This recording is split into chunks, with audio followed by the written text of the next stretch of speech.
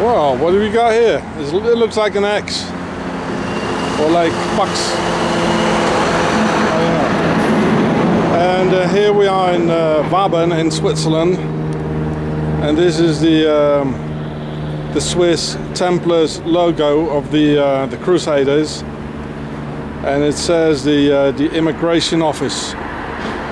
Federal Immigration Office. There. Templars. These are real big time criminals. Real big time. So, well, let's have a look at this thing here. I'm gonna walk around. And what are we gonna see? What are we gonna see? It's changing, isn't it? It's real changing. It's still changing. Changing.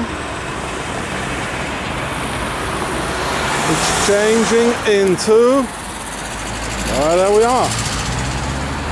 Square and compasses. There it is. There it is. Oh, what do you say?